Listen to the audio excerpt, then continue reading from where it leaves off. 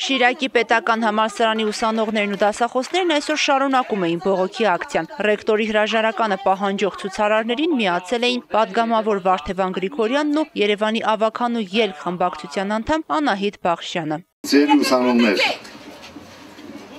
իմ խորին շնորհակալությունն եմ ուզում հայտնել ձեզ, հայտնել ձեզ, որ դուք աշխարհին ապացուցեցիք, որ ամենալավ, ամենահամարձակ ամենաարտար արտարություն սիրող երիտասարդներն եք։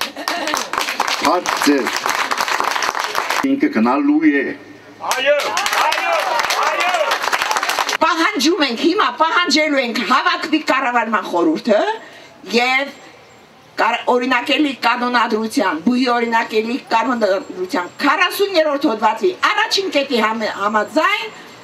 պահանջի որոշում կայացնի դադարեցնել ռեկտորի իրավասությունները։ Եվ վերջ, մենք դա ենք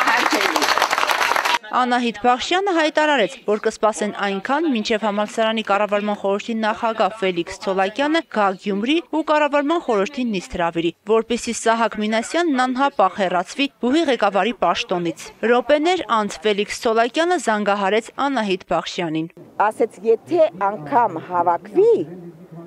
եւ այդ օրակարգում այդ հարցը դրվի, ապա կառավարման խորհուրդը չի քվեարկելու այդ նախագծի օկտին։ Ասի ոչինչ, դուք եկեք հրաապարակային կառավարման խորհրդի ընթացքը կազմակերպեք, մենք դրսից տեսնենք, թե ով է պաշտպանելու, ով է այսինքն կողմ այդ նախագծին, ով է դեմ եւ մենք հասկանանք, բայց դուք ձեր պարտականությունը արած կլինեք,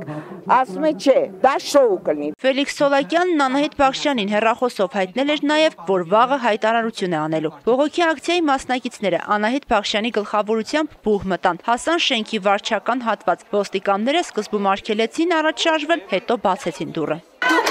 փոխարեն մի պատասխանեք։ Դուք ուսանողների կրթության շահերը պաշտպանեք։ Ես այդ փորձում եմ անել։ Չէ, այն ինչ որ դուք անում եք, դա իմիտացիա է։ Երբ ուսանողների, տեսեք ստվար մասը դրսում է եւ պահանջում է իր այսինքն իրեն ոչ արժանի ռեկտորի հրաժարականը, դուք դի ուսանողի կողմ կանգնեք։ այո